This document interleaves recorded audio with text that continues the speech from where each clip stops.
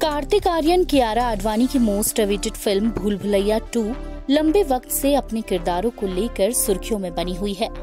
आज इस horror comedy film का शानदार ट्रेलर रिलीज़ हो चुका है। इस ट्रेलर को मुंबई में एक इवेंट के दौरान रिलीज़ किया गया। फ़र्स्ट ऑफ़ ऑल मैं सबको थैंक यू कहना चाहूँगा। सब लोग जो भी यहाँ पे उपस्थित हैं यहाँ पे सब लोग आए हैं हमारा ट्रेलर देखने के लिए थैंकफुली टाइम बहुत अच्छा uh, हो रहा है कि जिस टाइम हम लोग काफ़ी टाइम बाद हम शायद से इतना बड़ा इवेंट एक कर रहे हैं Seriously? ट्रेलर लॉन्च कर रहे हैं। So thank you all for coming here and of course जिस तरीके से आपने तालियाँ बजाई हंसे हमारे साथ और डरे भी आई uh, थिंक ये बहुत वैलिडेशन होता है जो हमें चाहिए होता है। और वो वैलिडेशन आप लोगों ने दिया तो thank you so much thank you for this firstly जैसे कार्तिक ने कहा thank you all for being here today बहुत अच्छा लग रहा है एक साथ यहाँ पे। I think this clap is for y'all only for being here. Um, हमारे लिए I think honestly it's very special for me because this entire team, Murad sir, Bhushan sir, myself, we've uh, given a big blockbuster Kabir Singh before.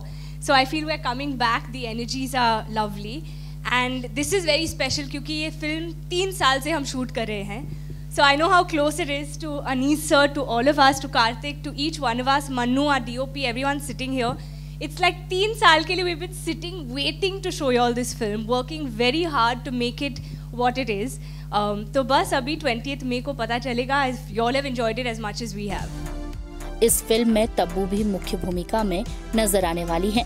ये film साल 2007 में आई अक्षय कुमार विद्या बालन परेश रावल और राजपाल यादव द्वारा अभिनीत film का sequel है आपको बता दें कि इस फ़िल्म की रिलीज़ डेट को कई बार पोस्टपोन किया जा चुका है।